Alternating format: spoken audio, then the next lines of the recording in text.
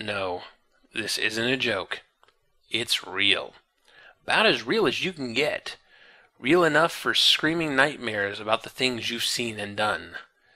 Because sometimes the stuff you see in the movies, the stuff you thought could never ever happen to you, well, it can happen. It does happen. I've seen it.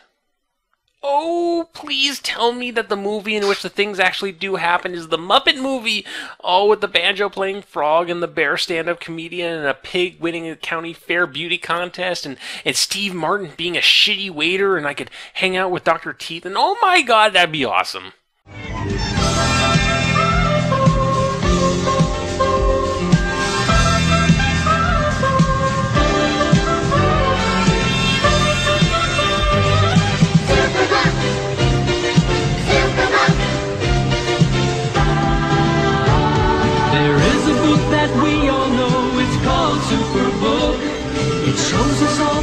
Places that we want to go and!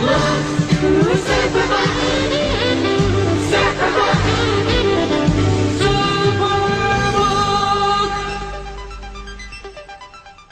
Welcome, everyone, to Alternate Reality Autumn. Bum, bum, bum. The next three reviews feature Animorph stories that take place outside of the normal Animorphs universe, either through messing with the space time continuum, alien simulations of what if scenarios, or, in this case, non canon game books that rewrite canon books to feature your stupid butt. Yes, Alternamorphs, the Animorphs Choose Your Own Adventure books.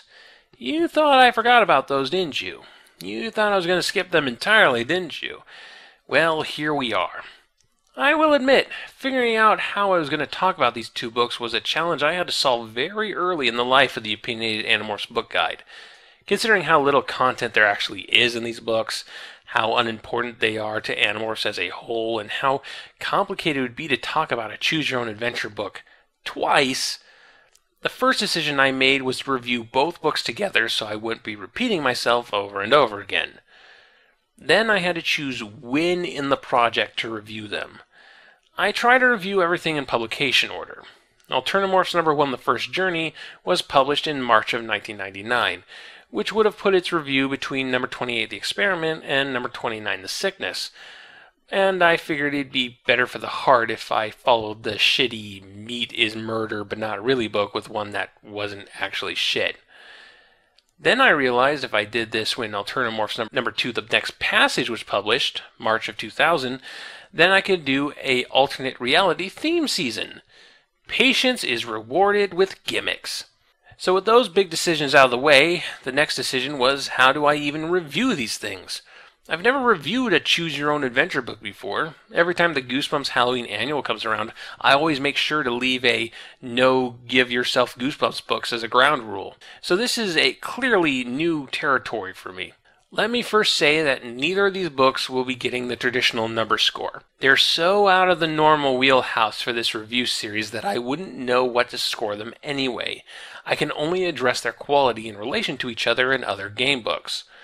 So let me just say up front that neither of these are required reading for Animorphs. You are not missing anything in skipping them, and not just because they are the only books in the series that are non canon.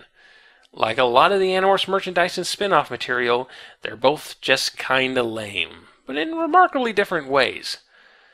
But taking away the number score doesn't get us any closer to actually talking about these things.